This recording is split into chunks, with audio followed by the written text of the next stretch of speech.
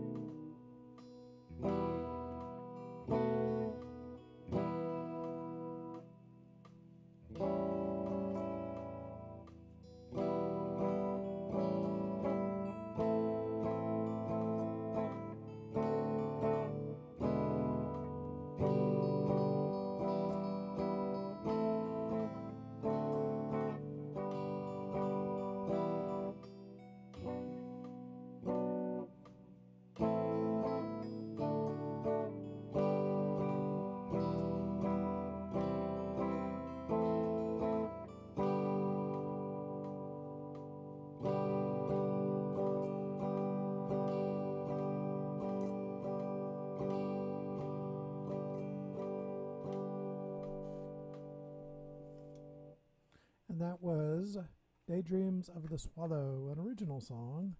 And now let's see how the recording turned out.